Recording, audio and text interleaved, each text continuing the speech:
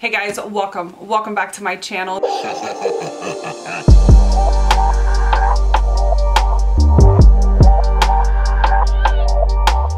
Today's video is going to be a dedicated reading vlog for Dead Silence by S.A. Barnes. This is the latest sci-fi horror that hit shelves today. I know many of you are anticipated or are excited for this book, so I just thought I would share my journey with you guys. I hope you guys enjoy this video, this reading vlog. Stay tuned to the end though because I do have a surprise at the end of the video so don't miss out on that. And without further ado, let's jump into the reading vlog. I hope you guys enjoy it.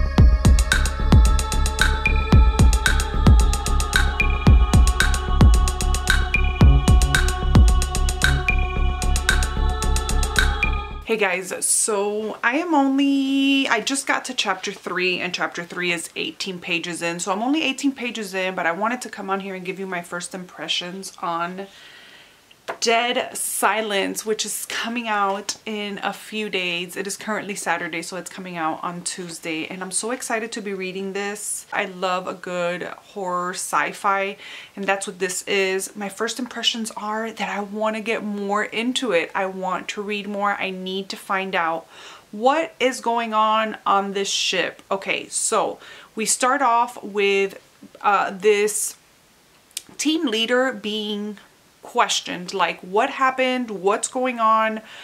Um you're telling us this story but we believe this other story and what they believe is that she has killed everybody on her team. Now she is off in space.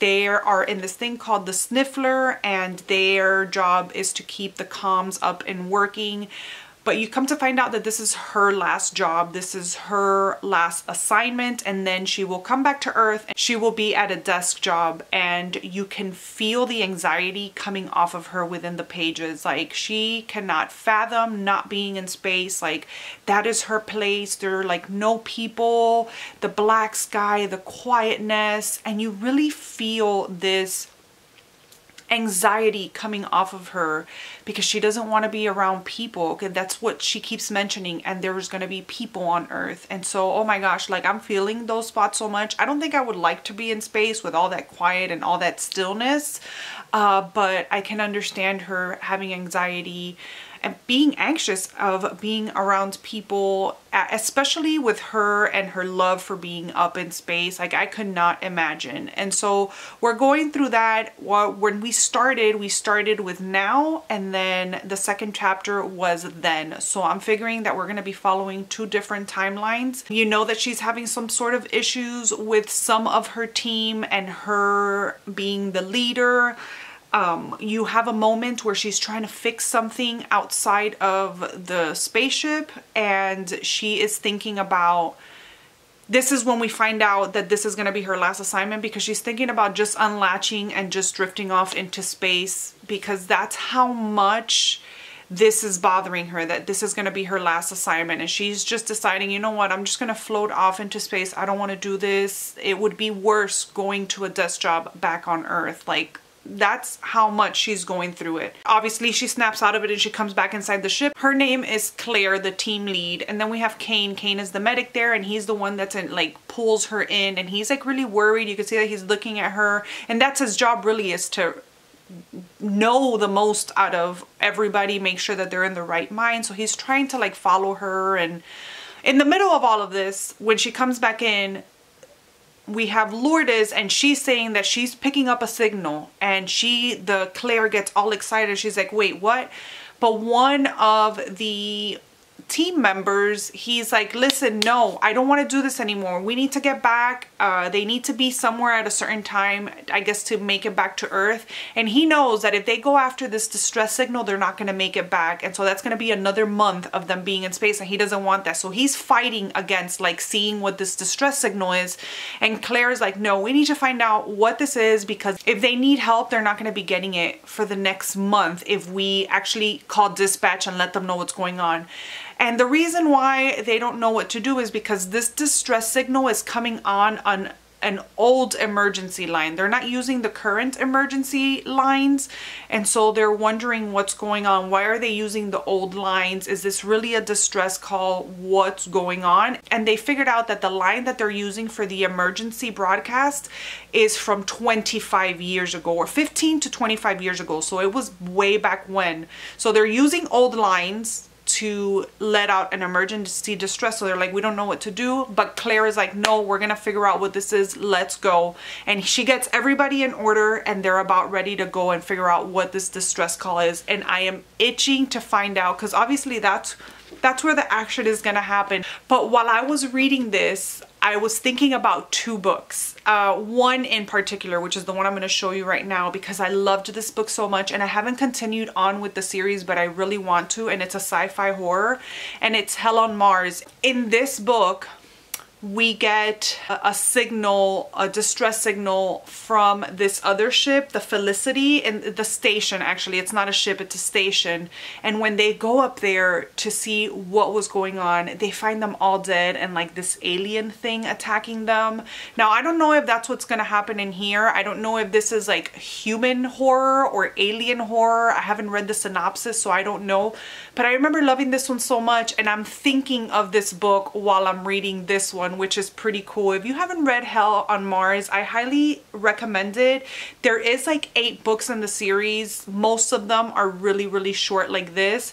It's not like phenomenal writing, like the writing in Dead Silence is much better, but it's enjoyable. It's super enjoyable and it's super creepy. There's some scenes in here that really freaked me out and anyways i just thought i would bring this one up because it's really reminding me of of this book so whatever. So far so good. It's gripped me and i can't wait to find out what's going on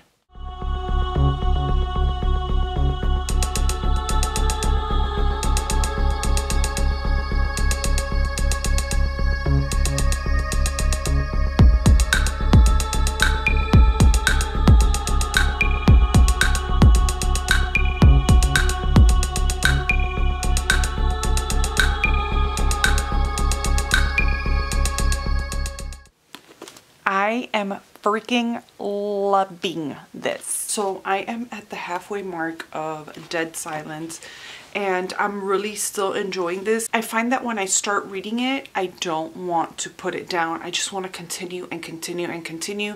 We have gotten to the other ship already and I am loving this part of the story. I think this is what I just look I was looking forward to the most and I think it's what everybody's looking forward to. It's the point of the story is finding this lost uh spaceship or aircraft carrier or spacecraft whatever you want to call it. But I'm having a hard time like remembering that we're in space and not in the water because the ship that they have found it's a really old ship. It's like 20 years ago and this ship was lost uh, they had lost they lost communication with it. They tried to look for it and never found this spaceship. And so these people get this distress call and they go out to it and they actually find this ship. And it's called the Aurora I hate saying that name, Aurora. I have such a hard time, but it's called the Aurora and it was this spacecraft that was built, this luxury spacecraft, and it was modeled after a like cruise ship, but for space. And only the wealthiest of the wealthiest had money to buy a ticket and it was supposed to be like just this luxury spacecraft where just people went on like if they were going on a cruise the water faucets were made of gold uh, they had like three tiers of like I guess different levels like platinum and this and that. They had different floors. Um, movie stars, athletes, these kinds of people were the type of people that had that went that had the money to buy these tickets on this ship and this was the first time the first um, trip.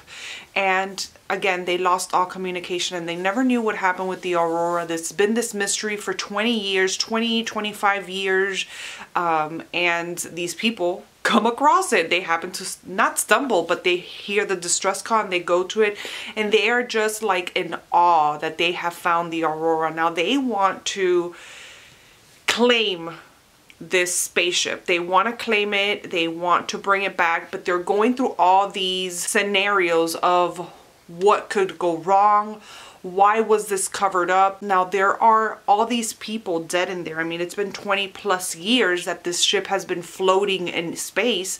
There are dead bodies in there. There this was a working vacation trip. And so uh, they're deciding to go into the ship to find out, to see what happened, find out what's going on, and they want to take something from the ship so that they can lay claim to it. So when they go back and they do uh, start the process of bringing the ship back, but again, they're playing all these scenarios onto why the spaceship was not found, what's going on, and all this stuff. So they have gone inside, they've seen everything in there, and they have gone back to the sniffer, sniffer, sniffer. All right, so I ran out of space on my card, so I can't remember what I was saying, but um, they've gone back. I think it was that they've gone back to their spaceship, spacecraft, their little, I think it's called the sniffer, and they're trying to come up with a plan to see how they're going to tackle the spaceship, if they're gonna like take it with them, if they're going to just grab stuff, if they're just gonna check around in there. And so I just, I really loved the part where we go into the spaceship i want to say cruise because that's what it was supposed to be it was supposed to be like a luxury space cruise type of thing but I'm really enjoying it. I want to see what else happens. Uh, we've gone in there initially. They're in there a second time now. And they're trying to figure out what happened to these people, if it was an environmental problem with it, if it was an engine problem, and what happened in there. There seems to be like suicides, murders, and then death from exposure. So they're finding all these things and they just don't know. Now they're trying to look for the log of the ship and they're trying to just figure out what happened.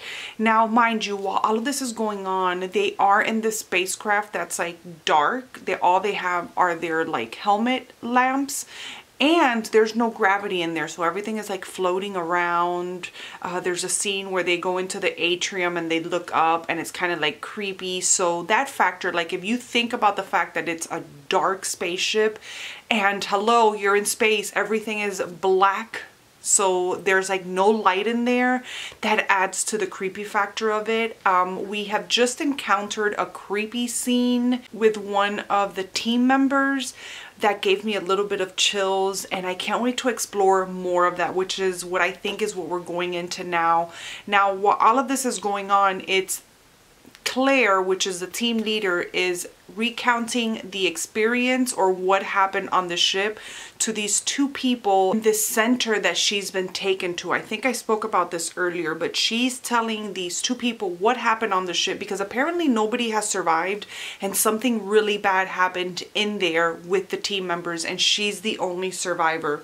So we're trying to figure that part also and these two people, these two members of this center that she has she was taken to after they took her out of the Aurora or after they found her or they rescued her from the Aurora. I don't know what the what the deal is there yet. These two people don't believe her. There's a whole like backstory to Claire as well of when she was a kid. She went through some traumatic experience with her mom and other team members in another space hub, I believe it was. And she was the only survivor. So now, years later, she's the only survivor again from this from the finding of the ship and this very big thing that happens in the ship that we don't know what happens yet but she's having hallucinations from it and she's seeing some of the team members while she's sitting there talking to the people.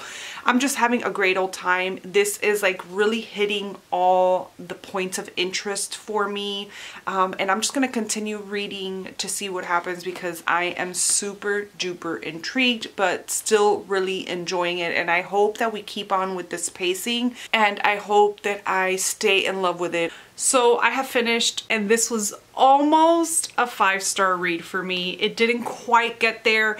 It was a five-star read all the way to the last quarter of the book, actually to the reveal of what happened on the Aurora and that bumped it down to four stars but I mean four stars is still incredible I enjoyed the majority of this book it's just that when the big reveal came it's not what I would have wanted it to be if that makes sense. I didn't like what the cause of this whole ordeal was and what is the reason why this ship was left floating in space. And so uh, it was a little bit underwhelming. I wish it would have been a different outcome or a different reason. I think that would have left it at a five-star read for me, but it was still super enjoyable and super atmospheric, especially the moments in the ship and envisioning it being all dark and it's a darkness unlike what we can experience here on Earth because we have so many factors that give us light, but when you're in space, I mean, I've never been in space, but I can only imagine the darkness in that void because there's nothing up there but dark. So imagine being in that dark. It's almost like claustrophobic. There was a scene in here that was so claustrophobic and it wasn't a super long scene. It was a very short scene with Claire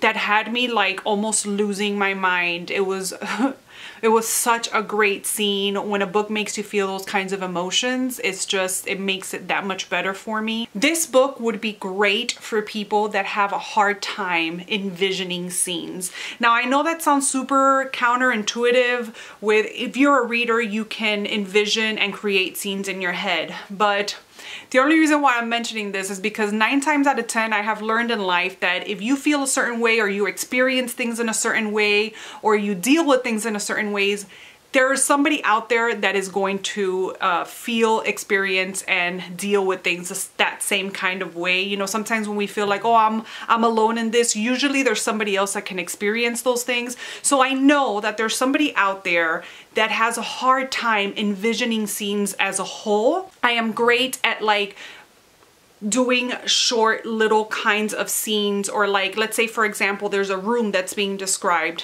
I can experience and I can envision the room in little pieces as it's being explained to me but I have a really hard time envisioning this whole one scene one room kind of situation. I have to do it in little pieces and compartments.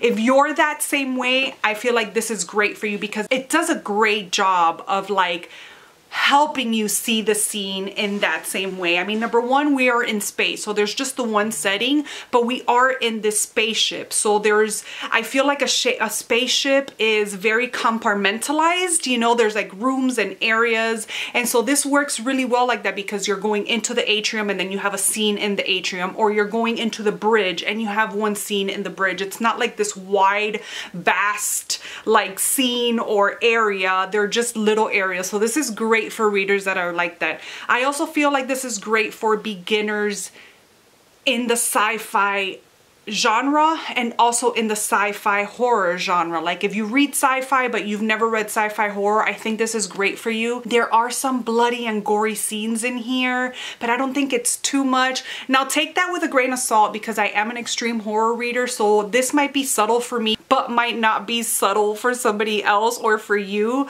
So take that in mind. But for me, it was very subtle. It had impact where it had to have impact. It was gory where it had to be gory. It was creepy where it had to be creepy. There's a couple of scenes in here that are in the pitch black dark. And mind you, one of the issues in this book is hallucinations. So pitch dark scene, hallucinations, I mean, fantastic.